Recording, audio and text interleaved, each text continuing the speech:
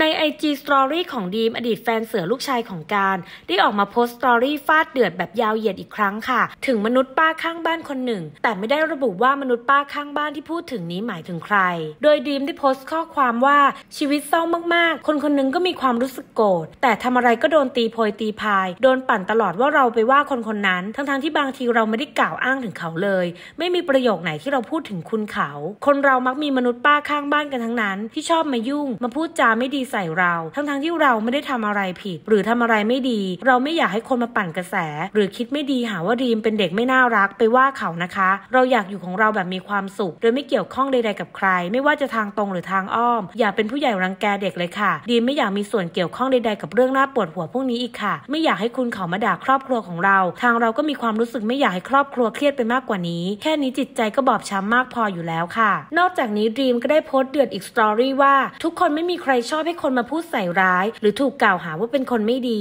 คนคนนั้นเขาก็ไม่ได้ว่าเรา แล้วเราก็ไม่ได้กล่าวหาล่วงเกินเขา แม้แต่ชื่อคุณเขาเราก็ไม่ได้เอ่ย การที่เราจะมีอารมณ์โกรธป้าข้างบ้านที่ทำตัวรู้ดีมากกว่าตัวเรา และเอาเราไปพูดในทางเสียหาย และโพสต์ลงในพื้นที่ส่วนตัว การที่เราโมโหเราผิดตรงไหน และทางคุณเสือก็ไม่ได้เกี่ยวข้องอะไรกับเรื่องนี้เลย ไม่อยากให้เอาคุณเสือไปเกี่ยวข้องเลยค่ะ ทุกคนมีทางเป็นของตัวเอง เขารับรู้และเข้าใจมาตลอดว่ามีคนมาว่าเรา และทางเราก็ไม่รู้ความเคลื่อนไหวของคุณเขาเลยเพราะบล็อกทุกช่องทางแล้ว นอกจากนี้ก็จะมีคนส่งโพสต์มาให้ดรีมเองก็รู้สึกไม่ดีกับเขาที่เขาโพสต์ถึงดรีมและครอบครัวดรีมเลยค่ะดรีมไม่ได้พาดพิงหรือล่วงเกินคุณเขา ไม่ได้มาขอความเห็นใจหรืออะไร แต่ไม่อยากให้คนมาเข้าใจผิด และอยากต่างคนต่างอยู่อยากมีชีวิตที่ happy ค่ะ ถึงคนที่ส่งข่าวถึงคุณเขาให้เข้าใจผิด หยุดเถอะค่ะ ไปทำมาหากิน ไปทำการทำงานนะคะ ไม่ชอบเราไม่เป็นไร แต่ไม่ควรทำให้อีกฝ่ายเข้าใจอีกคนผิด ทั้งๆทที่เขาไม่ได้ทำอะไร แม้แต่ล่วงเกินเลย Happy Valentine's Day ขอให้วันนี้เป็นวันที่ดี